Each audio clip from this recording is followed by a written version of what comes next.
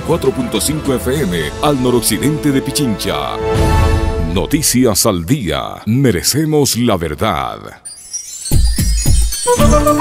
El siguiente es un programa clasificación O de opinión. Categoría A. Apto para todo público. La construcción de un nuevo país implica el análisis de los acontecimientos desde otra perspectiva. El periodismo es conciencia, razón y verdad. Aquí inicia 7F Plus, la otra política.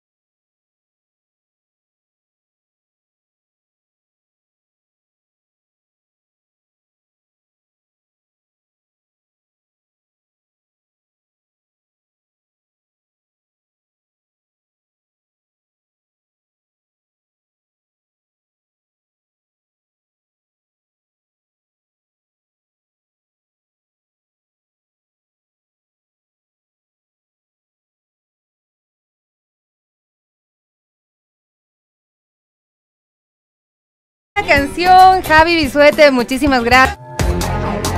¿Qué dice Larry?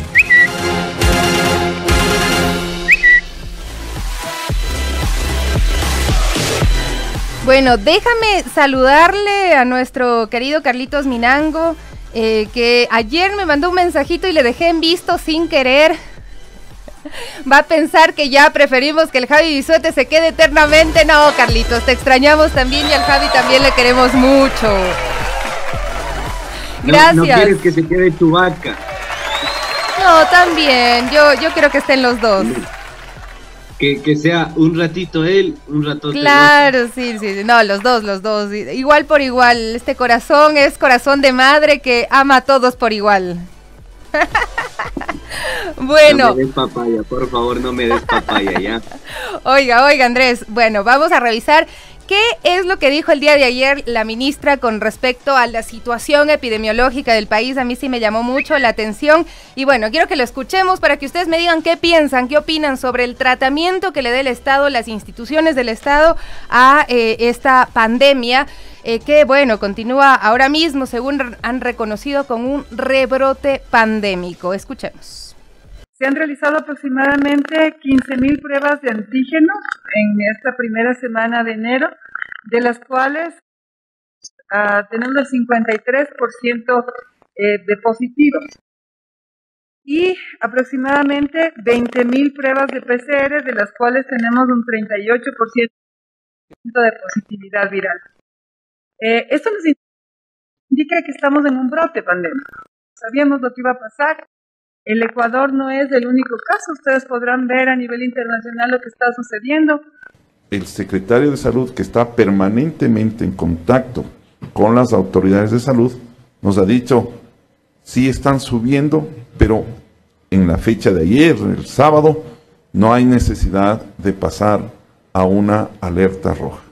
Estamos en naranja, estamos monitoreando todos los días y podría ser que en función de esos números, en cualquier momento podamos pasar a la alerta roja, pero actualmente en los números y circunstancias que tenemos, nos podemos, en el caso de Quito, mantenernos en alerta naranja. Esto no significa que en esta misma semana o en la próxima semana pudiéramos pasar a alerta roja. ¿Qué te parece, Andrés? El rato menos pensado Podemos pasar a alerta roja en la capital y lo otro que me llamó mucho la atención es lo que dice la ministra. Sabíamos que esto iba a pasar eh, y claro, la pregunta es por qué las decisiones que se han tomado eh, no han sido eh, medidas preventivas para que podamos evitar lo que hoy está ocurriendo, el incremento de casos y sobre todo el incremento de personas que han fallecido. Mi querida Sofía, sácame de una duda. Estamos en horario familiar, ¿no? No se puede no, no, no, no, no, se puede, no, se puede utilizar. Qué pena. Qué pena porque em, yo veo por acá muchos comentarios, em, veo la indignación de la gente, veo la bronca que muchas personas tienen en relación a lo que ha sucedido últimamente en los, en los, en los, en los últimos meses ¿no? del año anterior eh, y sobre todo en el inicio de este 2022. Yo realmente te digo, eh, los calificativos no alcanzan para explicar lo que las autoridades están haciendo con este país. Y es a todos los niveles, con sus honrosas excepciones, em, digamos, con gobiernos eh, seccionales que, realmente intentan preocuparse por la ciudadanía con todas las limitaciones presupuestarias que eso implica. Pero las personas, eh, como el alcalde Guarderas, que en sus 100 eh, días de gestión ha gastado aproximadamente 500 millones de dólares, no se sabe en qué, eh, que salga a dar una declaración de este calibre que muestra su completa, absoluta ignorancia y desconocimiento sobre la materia de salud, sobre lo que está pasando a nivel mundial, eh, es muestra de que lamentablemente el poder hoy por hoy en el país está capturado por personas completamente improvisadas que han entrado por la ventana y que de alguna forma una vez que llegan al poder no saben ni qué hacer con el poder. Y en el caso de la ministra de Salud, eh, le falta decir, claro, sabíamos que esto iba a, iba a, suceder, pero no hicimos nada. Esa sería la frase que complemente lo que ella eh, trata de expresar a los, a los medios de comunicación y a la opinión pública, porque hay un elemento central en esto. La pregunta es eh, un enigma, ¿no? Parecería algo de sentido común, pero realmente no lo, no lo explica la, la autoridad. ¿Por qué si sabían que esto iba a suceder, que esto iba a pasar, no hicieron nada al respecto? No afianzaron esos protocolos de bioseguridad, eh, eh, no facilitaron la, la, apertura de la frontera con Colombia. Eh, ¿Por qué prohibieron? ¿Por qué mejor no prohibieron esa apertura de la frontera con Colombia? ¿Por qué no cancelaron los vuelos a tiempo? ¿Por qué no impidieron que la gente se alborote? ¿Por qué no se impidió que la gente se alborote en fechas como Navidad, fiestas de Quito, eh, en los diferentes puntos geográficos del país. O sea, me parece a mí que nosotros estamos viendo una comedia y esta comedia trágica, pero no. o sea, es que realmente es, es, trágica, ¿no? Es como la, la divina comedia de Dante. Eh, y esto ya realmente superó a la, a, la, a, la, expectativa. Uno dice, ¿en qué país vivimos? No, Macondo quizá explica lo que, lo que estamos viendo. No, tampoco, no alcanza. Eh, y realmente es espeluznante escuchar a esta gente y tan suelta de huesos, ¿no? Sí, sabíamos que esto iba a suceder, eh, en otros países está pasando, y tan suelta de huesos te dice, eh, no, no es tanto el contagio, hay que esperar. Entonces, no sé, yo creo que el, llamamiento es a... y claro, desde la alcaldía también es el momento menos pensado, estaremos en alerta roja, pero todavía no nos dan los números, eso es lo que han mencionado, y claro, a uno eh, pues eh, le invade el horror, el espanto al escuchar estas cosas, y bueno, lo que viene después son las medidas. Ahora sí vamos a reducir aforos, ahora, por ejemplo, se ha dispuesto a partir de eh, el día miércoles 12 de enero las operadoras de transporte inter, intra provincial y turístico van a revisar eh, a través de la venta de boletos el carné de vacunación de los pasajeros. Esta es su medida anunciada, esta es una medida anunciada eh, por eh, Adrián Castro, director de la Agencia Nacional de Tránsito. El día de ayer se van a realizar operativos, ha dicho él, para controlar esta medida y la sanción por incumplirla es de cuatro salarios básicos unificados. Entendemos la sanción a las operadoras de transporte. y eh, los niños desde los 5 años también van a tener que presentar este certificado de haberse eh, vacunado con las dos dosis o con el esquema completo contra el coronavirus. Em, también dice que van a tener que verificar los operadores la información del usuario en la página web del Ministerio de Salud. ¿Será esto posible? Me pregunto yo, que cuando te vayan a vender un boleto ingresen a la página web eh, tu número de cédula y, vayan a verificar si efectivamente estás vacunado. Bueno, la verdad es que no me lo creo, eh, pero eh, va a ser una exigencia desde el día miércoles y también han exhortado a los municipios para que hagan lo mismo en el transporte intracantonal, en el transporte urbano.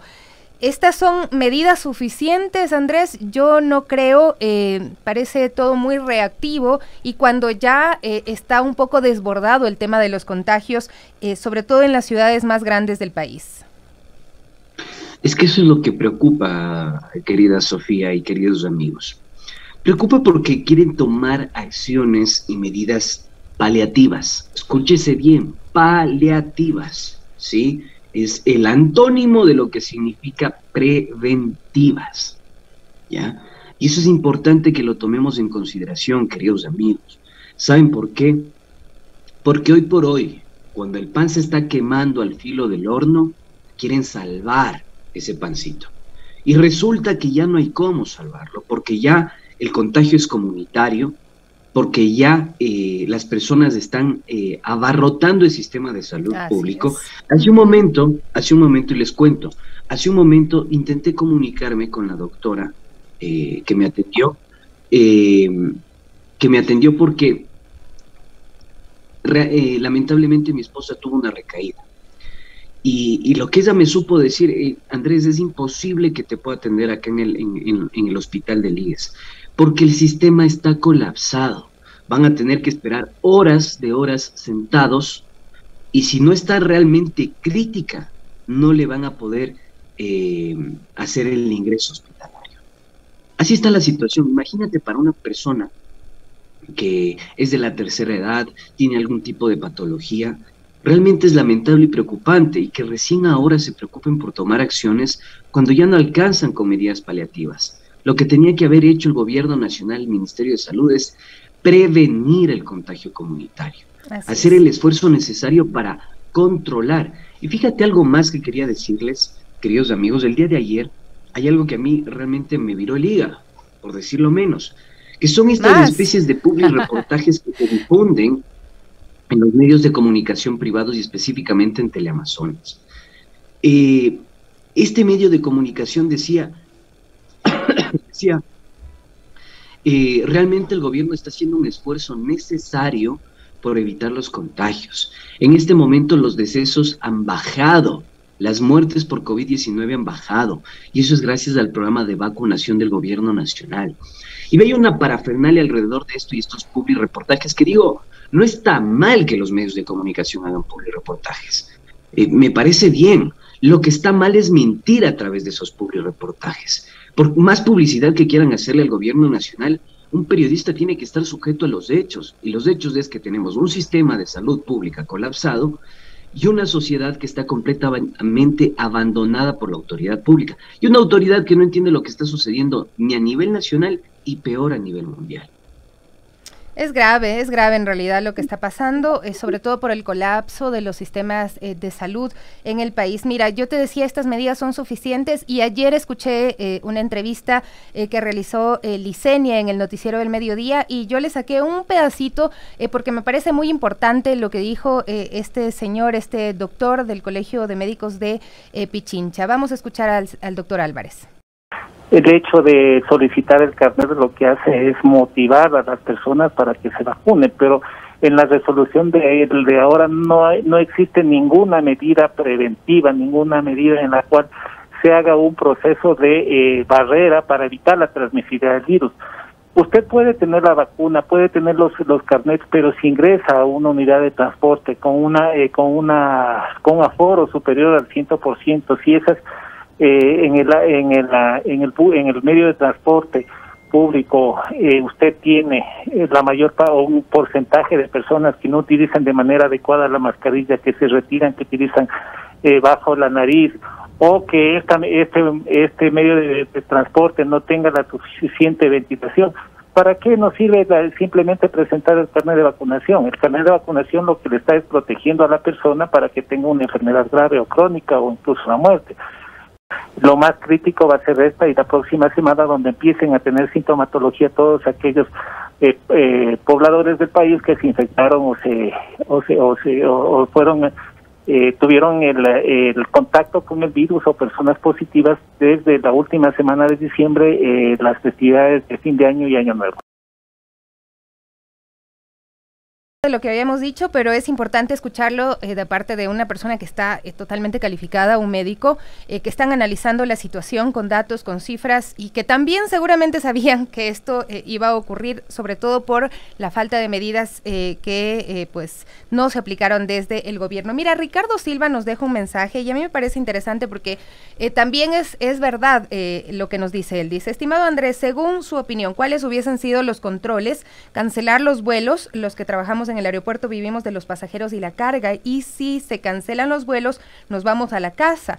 Entonces, eh, eh, esto es también válido, ¿no? Pero eh, creo que en el aeropuerto eh, los vuelos internacionales, sobre todo, es mucho más fácil controlarlos porque la gente se supone que viene con una prueba PCR negativa, aunque vimos en Perú había gente vendiendo, pues, como los certificados o los resultados negativos. Y esto también es un poco la corresponsabilidad de los ciudadanos. Pero, mi querido Ricardo, si es que llega a complicarse más la situación, el siguiente paso seguramente podría ser un confinamiento total. Eso sí no lo aguantamos y si no se toman medidas preventivas, estamos caminando a eso como ya ha ocurrido nuevamente en algunos países del mundo. De hecho, las propias aerolíneas han cancelado vuelos por falta de personal que se ha visto contagiado durante eh, los últimos días, sobre todo en la temporada eh, festiva, ¿no? Y que hoy precisamente esos casos están apareciendo, se están haciendo visibles, Andrés.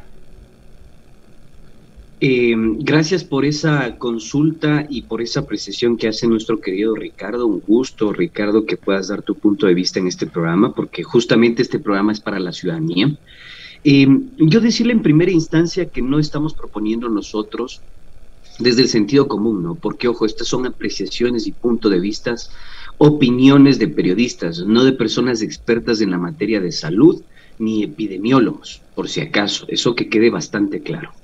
Eh, pero sí es importante comparar lo que han hecho otros países, ¿no? Cerrar en algunos casos el tránsito con países que han, tenido brotes y contagios comunitarios, por ejemplo, el caso de los países nórdicos, el caso de los países eh, bajos. Eh, es importante e interesante cotejar esa información y contrastarla también. lo que han hecho otros países en Europa al respecto de este, de este contagio comunitario que les decía. Pero acá lo que se está proponiendo no es que hagamos lo que hizo la alcaldesa Cintia Viteri, que se crucen con, eh, digamos, con infraestructura de la alcaldía y en el aeropuerto de Quito para cancelar los vuelos. No, no, no. Dicho sea de paso, eso quedó en la absoluta impunidad por parte de la justicia. No se está proponiendo eso, lo que se propone son medidas, que se monitoreen dichas medidas, que se constituya lo que la CEPAL ha dicho, y me he cansado de decirlo en este programa, la nueva esencialidad de las cosas ¿Qué realmente es lo importante? ¿Qué necesitamos hoy como fundamental en, la economía nacional? Eh, y, e ir identificando esos patrones y establecer medidas de bioseguridad para que la gente cuide su salud. Eh, escuchamos ya que tenemos una nueva ola, un nuevo brote de la pandemia. ¿Realmente alcanza con las medidas, querido Ricardo, que ha puesto el gobierno nacional? Vemos una ministra improvisada, vemos un sistema de salud que no tiene medicamentos, vemos filas interminables en los hospitales eh, del Ministerio de Salud Pública con gente que quiere ser atendida. No están ni siquiera haciendo los hisopados porque se acaban las pruebas, tienen que amanecer las personas para alcanzar una prueba PCR. Eh, y todo está en manos del privado.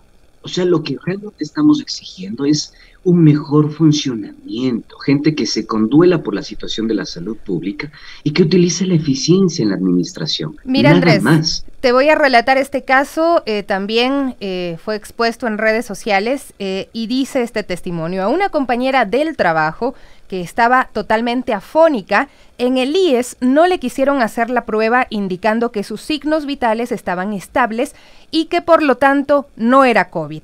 El médico del IES le dijo que tenía amigdalitis. Ayer le sugerí hacerse una PCR en un laboratorio privado para que confirme el diagnóstico y como era de esperarse salió COVID positivo.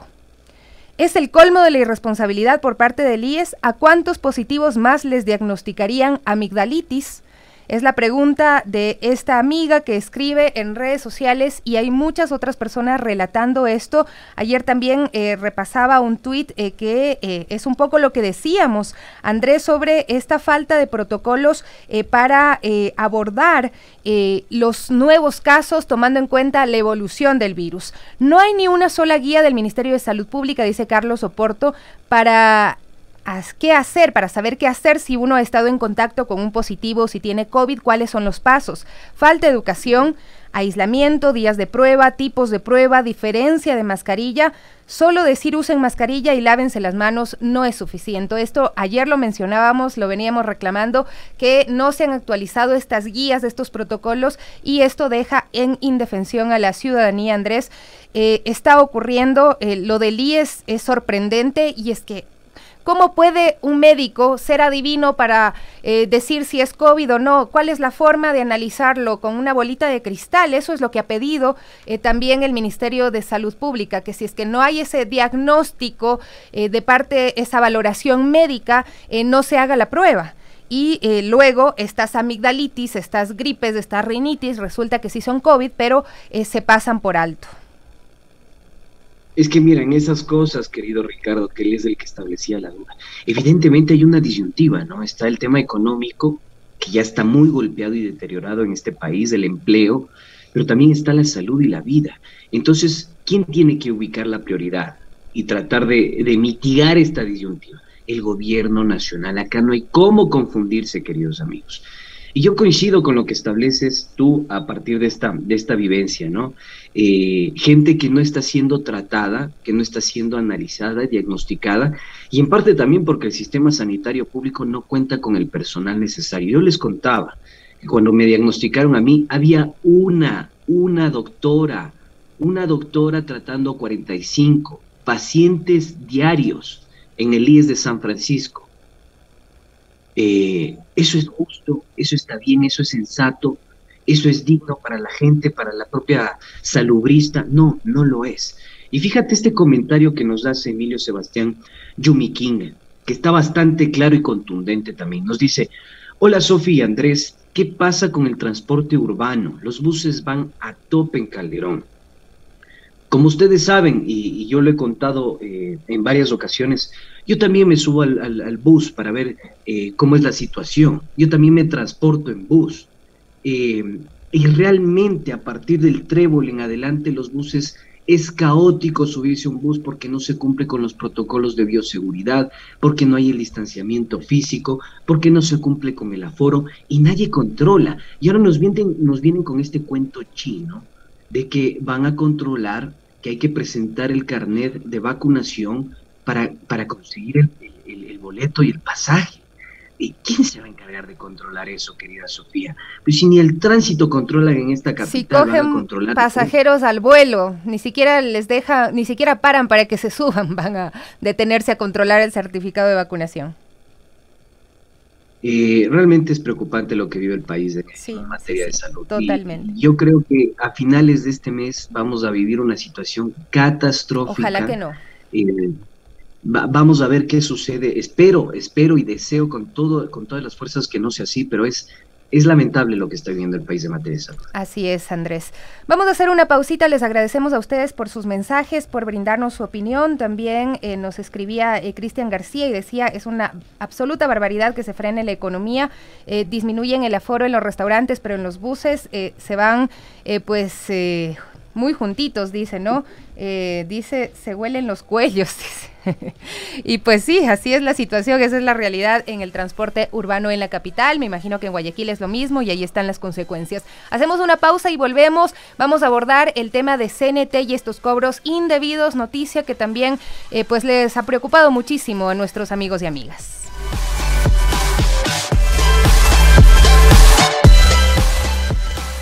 Estamos de regreso, estamos de regreso ya en 7F Plus, la otra política, son las 9 con 33 minutos. Eh, a esta hora nos acompaña el abogado Gustavo Velázquez para conversar con nosotros sobre estos cobros indebidos de CNT. Gracias por acompañarnos, bienvenido. Hola, buenos días, ¿cómo están? Muy bien, muy bien, muchas gracias. con ustedes. Muchas gracias por estar hoy con nosotros. Gracias por la invitación. Bueno, ayer, eh, antes de ayer, eh, una publicación de Twitter animó a decenas de personas a exponer sus casos de cobros indebidos que eh, CNT viene realizando a través de juicios de coactivas en los que los perjudicados se enteran en el momento en que reciben una orden judicial para bloquear sus cuentas bancarias. Déjeme hacer esta introducción nada más, abogado. A Vanessa Pogo le retuvieron 698 dólares según su denuncia por una supuesta deuda por una línea fija que se solicitó en 2003 en una dirección en la que nunca vivió. Y de estos casos habrían unos 90 mil solo en Guayas. Otro usuario contó su caso, eh, suspendió el servicio hace 10 años y recién ahora aparecen a decirle que no ha pagado 10 dólares y que con intereses ya son 500 dólares en este momento. Denuncia que tienen un juzgado en sus oficinas y abogados buitres, dice él, que llaman a amenazarle. Cristina Argüello también denunció que a su madre le están cobrando una cuenta por segunda vez, las señores de la tercera edad, y le han retenido la cuenta donde le depositan su pensión de jubilación. Otro caso más, una persona que canceló su línea telefónica, le siguen llamando a cobrar por una línea de vuelta. Se ha realizado el trámite varias veces y siguen insistiendo. ¿Cómo proceder ante estos casos? Bueno, eso es lo que le vamos a consultar eh, al abogado eh, Velázquez que nos acompaña el día de hoy, tomando en cuenta lo que ayer eh, dijo CNT a través de un comunicado que han suspendido los procesos de coactiva hasta el 28 de febrero próximo, precisamente por esta gran cantidad de denuncias que se han dado. ¿Qué es lo primero que hay que hacer cuando llegan estas notificaciones de pago o, uno se entera que el Estado debiendo eh, a CNT? Eh, bueno, muchas gracias. A manera de introducción, debo informar o debo indicar aquí que el estudio al cual yo me pertenezco, hemos iniciado acciones de habeas datas por cuanto la Corporación Nacional de Telecomunicaciones no ha dado contestación a varios requerimientos de mis clientes. ¿Cuál es el primer paso? Lo que pasa es que cuando el ciudadano se entera, lo que hace es ir a un banco y verificar que hay un fondo retenido por la Corporación Nacional de, Telecomunicaciones sin que exista una notificación previa. Es decir, te retienen el valor y listo. Ahí usted recién se entera usted comparece a las oficinas de CNT y solicita por escrito, ese es el primer paso, solicitar por escrito la deuda del contrato o cualquier documento que haya suscrito para verificar esto. Sin embargo, Corporación Nacional de, Telecomunicaciones no da respuesta alguna. Y esto es durante varios meses. Durante varios meses que se hacen varias peticiones a dicha entidad. Al momento de tener una negativa de manera tácita de la empresa, se procede con la acción de habeas data ante un órgano regular judicial que es un juez, en el cual debe ser citado la corporación y se le solicita en el mismo, en una audiencia, que se adjunte y presenten el contrato referido. He tenido conocimiento que hay varias acciones de este tema y en ninguno en ninguno han presentado contrato alguno. ¿Y cómo si no tienen los contratos le cobran a la gente? ¿De dónde salen esas deudas entonces? Bueno, tengo entendido que la, la administración actual está haciendo una verificación de datos, porque esto viene desde que CNT se llama Pacifitel. Wow. O sea, para que tengan ustedes cálculo de, de deudas desde de cuando son inexistentes. Entonces, lo que dicen es que fueron hackeados hace seis meses, pero eso no repercute porque estas acciones vienen ya desde hace años. El primer punto. El segundo punto, veo que la nueva administración que está haciendo énfasis en este tema y que yo veo que sí quieren dar soluciones a los problemas porque conozco a las personas que están representando y sé la responsabilidad que tienen con la ciudadanía, que lo harán, pero durante todo este tiempo la resolución no es clara en el sentido de que está suspendido las acciones de coactivas, pero sin embargo usted tiene todavía retenido sus fondos. Claro, esto es, tremendo. ¿Cuáles son los derechos, doctor, que se ven afectados de las personas al momento de generarse estas medidas cautelares de retención de cuentas? Bueno, la primera es el derecho a la defensa porque nunca fue notificado de esta retención. Eh, lo segundo también a la seguridad jurídica, al buen nombre. Y esto afecta a usted de manera moral, eh, financieramente. Hay varias afectaciones en esto por cuanto usted dispone de un fondo, va a disponer del mismo y ya no lo puede hacer uso por cuanto de manera arbitraria e ilegal CNT bloqueó su cuenta. Y en medio de una pandemia esto resulta peor. Veíamos que eh, hay testimonios de personas de la tercera edad con sus cuentas eh, retenidas, con sus pensiones de eh, jubilación. usted me decía seis meses para que le entreguen el contrato si es que lo llegan a entregar. ¿Cuánto puede durar un proceso de este tipo para desvirtuar una deuda inventada con un usuario? A ver, la información es, tiene que ser eh, otorgada de manera inmediata. Yo le estoy diciendo que CNT en un caso particular se demoró seis meses y no dio contestación alguna. Claro. Pero se procede es que en cada tres días yo presento una petición, es decir, dos peticiones a CNT. Señores, adjunten el contrato. No me contestan, vuelvo a, preguntar. Si no me contestan, yo puedo hacer e iniciar la acción de habeas data en la que eh, hasta notificar a la Corporación Nacional estimo que se lleven un mes. Ahora, las reparaciones, yo ya hay resoluciones de habeas data. Me permito leer una de milagro que busqué, que, eh, se hizo, en la que el juez ordena la reparación integral, dispone que en el archivo de banco de datos de Corporación Nacional de Telecomunicaciones la eliminación de datos, por cuando la institución nacional no demostró que existe un contrato. También eh, se le hace conocer de que tiene que hacer publicaciones de esto en la página web de todas las resoluciones. Entonces la reparación es inmediata por parte del órgano jurisdiccional a CNT. Oiga, abogado, pero esto eh, me imagino que es un proceso que dura un buen tiempo y además eh, que tiene un costo. Es decir, todo esto que el usuario gasta en defenderse, ¿quién lo paga?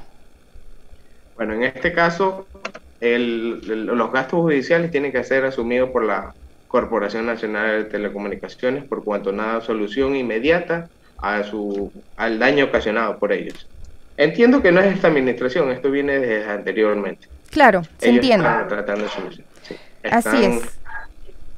Pero en todo caso, eh, pues sí, sí nos queda esta duda de cómo aparecen estos contratos eh, que los ciudadanos eh, no conocen y es una falla tremenda que se está, pues conociendo, pero no es nuevo. Eh, ¿Por qué cree usted que apenas recién en este momento estalla eh, cuando los casos, como usted bien menciona, son desde hace muchos años? Bueno, yo estimo porque ahora la administración ha tomado la decisión de cobrar las coactivas.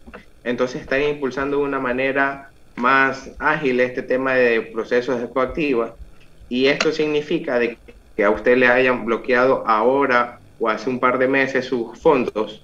Entonces, eh, por eso es que se hace esto y por el tweet de la señora que yo le contesté cuál era la acción a tomar, veo que la administración actual ha decidido hacer este tipo de, de bloqueos de, de, de la este, coactivas de ellos. Pero podrán solucionar esto hasta el 28 de febrero, no es un tiempo muy, corto. Solo en Guayas hay 90 mil casos de, de cobranza, solo en Guayas, solo en Guayas. Bueno, realmente sí resulta Y esto es a nivel nacional. Así es, así es, esto es a nivel nacional. Aquí tenemos muchas personas que nos están escribiendo ahora mismo eh, con respecto a eh, casos eh, de abusos por parte de CNT. Eh, dice una señora, ah no, Ramiro, perdón, dice, en mi caso este trámite demoró cinco meses y la devolución del dinero llevó eh, un mes y medio adicional, por ejemplo. Entonces nos dan cuenta, otra persona, yo cerré y pagué una cuenta de celular, fui a verificar el saldo en un mes y decían que no hay deuda y después de dos años me llamaron a cobrar 60 dólares por un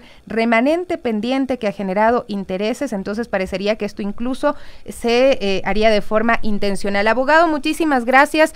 nos deja claro que eh, la primera acción es solicitar el contrato y la segunda, en el caso de no recibir el contrato, es eh, presentar una acción de habeas data. Eh, se le cortó un poquito la comunicación. ¿Cuál era la pregunta? No, le decía que muchísimas gracias, que nos queda claro que hay que eh, presentar eh, primero la solicitud del contrato y lo segundo, la acción de habeas data si es que no se recibe el contrato.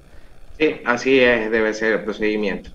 Muchísimas gracias, el abogado Igual, Muchas gracias por la invitación, le agradezco mucho. Igual cualquier cosa a las órdenes. Gracias. Muchas gracias, abogado. Y bueno, ya ven ustedes los casos, son muy frecuentes y eh, pues eh, vamos a seguir hablando de este tema porque a otra institución a la que le compete eh, pues apoyar a los ciudadanos que tienen estos problemas es a la Defensoría del Pueblo. Así es que Andrés, luego de un pequeño cortecito, está también ya conversando con un representante de la Defensoría del Pueblo.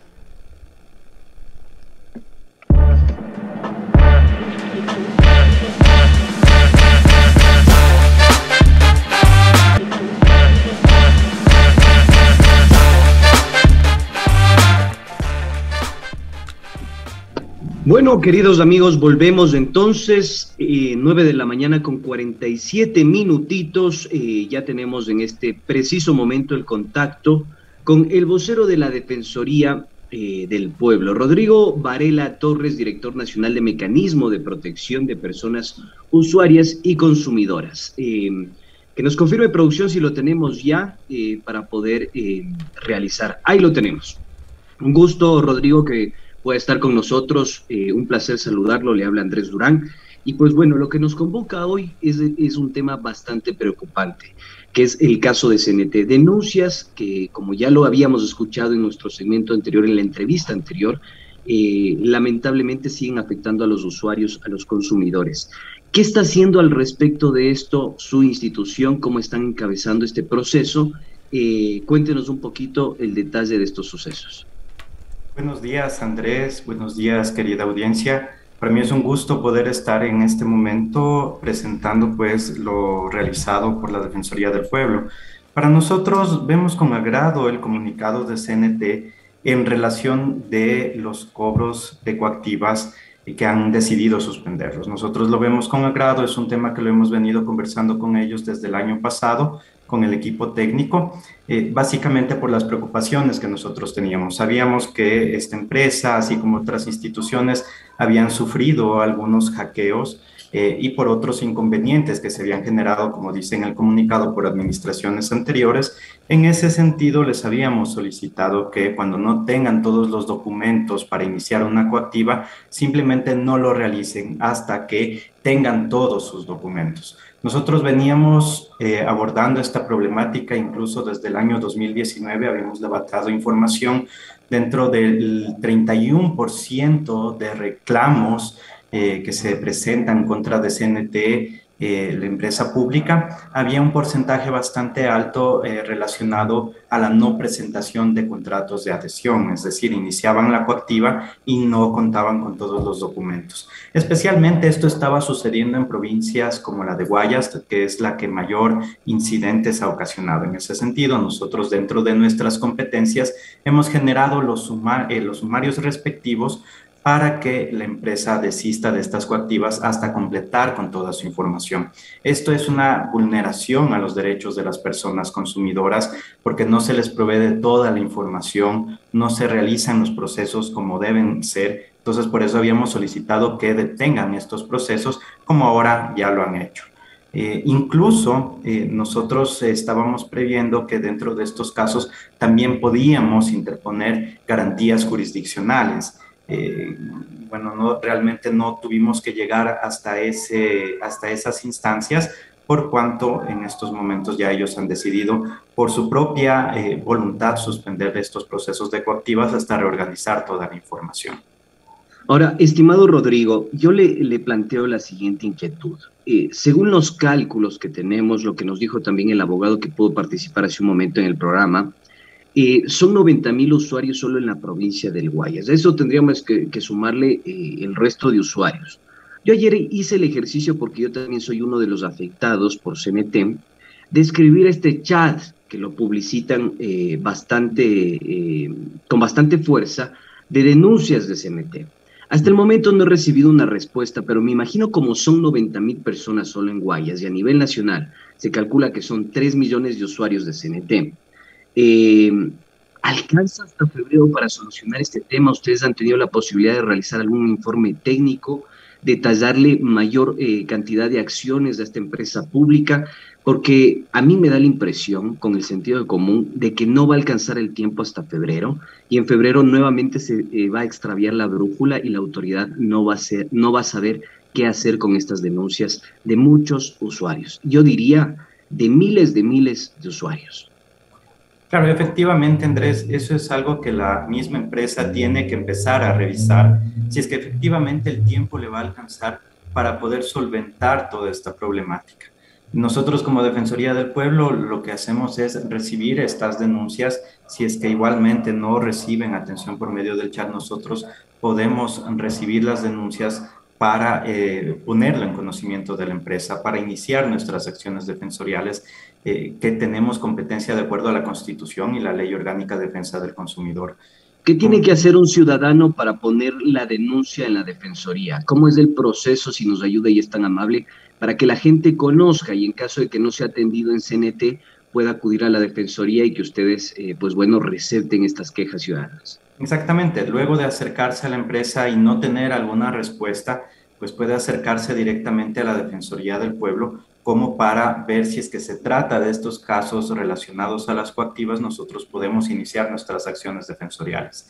Eh, en el caso de que se trate respecto a la calidad del servicio, sí es necesario que vayan a la Agencia de Regulación y Control como para que ellos puedan también actuar dentro de sus competencias como mencionaba, si es que es en relación a las coactivas, nosotros podemos iniciar los procesos defensoriales, únicamente deben acercarse con toda la información a cada una de las oficinas en las delegaciones provinciales.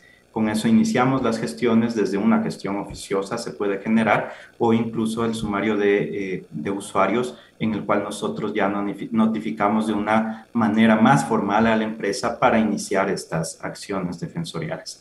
Y de ser el caso, y en este, eh, nosotros incluso podemos abrir investigaciones defensoriales o incluso interponer garantías jurisdiccionales, si es que, por ejemplo, no se presentan todos los documentos como planteaba inicialmente, si no se presenta el contrato de adhesión, porque ese es un instrumento importante para que las personas sepan qué es lo que están adeudando en función de qué obligación jurídica están adeudando a la empresa. Entonces, si no cuenta con esa información la empresa, pues nosotros podríamos plantear esa acción de habeas eh, data de forma que la, la justicia constitucional sea la que solucione este conflicto jurídico. Es decir, que mientras más ciudadanos puedan acudir a la Defensoría, pues mayor presión se puede ejercer sobre esta empresa pública para que se disipen las denuncias y las quejas de la ciudadanía. Estamos en lo correcto. E, en este momento, más bien con el anuncio que ha dado CNT, lo que nosotros como Defensoría del Pueblo recomendamos es que acudan primero hacia este canal de comunicación que ha implementado CNT. Más bien exhortamos a CNT de que esta atención sea de la mayor calidad posible para que las personas puedan obtener la información, puedan presentar sus reclamos. Si es que mismo vemos que estos canales de comunicación no están funcionando, la Defensoría del Pueblo puede atender ahí los reclamos. Eh, ahora, esta suspensión de las cuentas de algunas personas que ya están lamentablemente atravesando por esta situación de las cuentas bancarias, esta suspensión que ha establecido CNT no significa que van a liberar los fondos de las cuentas bancarias de esas personas. ¿Ustedes han tenido la posibilidad de palpar esta situación, medidas para estas personas que han sido, eh, digamos, estropeadas por esta empresa pública? Ahí hay que tener claro una cuestión. CNT tiene la competencia, por ser una empresa pública, de plantear las coactivas. Es decir, legalmente lo puede generar. El problema es cuando no presenta toda la documentación e inicia estas coactivas. Ahí es lo que nosotros como Defensoría del Pueblo podemos activar desde las gestiones oficiosas que en algunos casos ha dado resultado para que CNT al ver que existe un error, pues básicamente no cometa esas arbitrariedades. Eh, si es que existen todos los habilitantes para que CNT inicie una coactiva, ahí nosotros como Defensoría del Pueblo no tenemos ninguna competencia. Entonces, esa, esa claridad sí hay que tener. Eh, sí ha habido casos en los cuales no tenían los contratos de adhesión, que es un documento importante para saber de dónde nace esa obligación legal de la deuda. Eh, y al no tenerlo, pues básicamente se estaría vulnerando los derechos de las personas consumidoras. Esa es una de las problemáticas que nosotros habíamos identificado de años anteriores, incluso ya nos estábamos preparando para lo que esté sucediendo eh, dentro de este año. Sí, como manifestaba inicialmente, si vemos con agrado el comunicado de CNT en el sentido de suspender, pero también hay que ver si es que CNT ha previsto todas las formas para que esta eh, forma de denuncia que han establecido en su comunicado de prensa sea realmente de calidad. Como, como lo manifestaba, si es que realmente no se atienden todas las denuncias de las personas, pues pueden acudir hacia la Defensoría del Pueblo. Ahora, ¿qué sucede? Porque eh, otro de los argumentos que ha utilizado esta empresa pública es el, eh, digamos, eh, este ataque que sufrió, ¿no? Este secuestro de información que sufrió el año anterior. tenemos que tener en claro que son 3 millones de usuarios según las últimas cifras de la anterior gestión de CNT del 2020, 3 millones de usuarios, decían ellos. Ahora, ¿qué pasa con las personas que lamentablemente han sufrido suplantación de identidad? Hasta qué punto se puede avanzar en las investigaciones en estos casos.